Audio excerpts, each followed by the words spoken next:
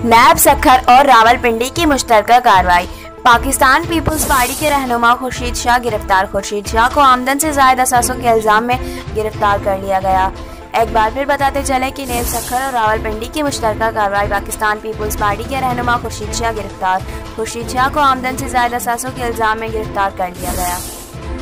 नैब सखर और रावलपिंडी की मुश्तरका कार्रवाई।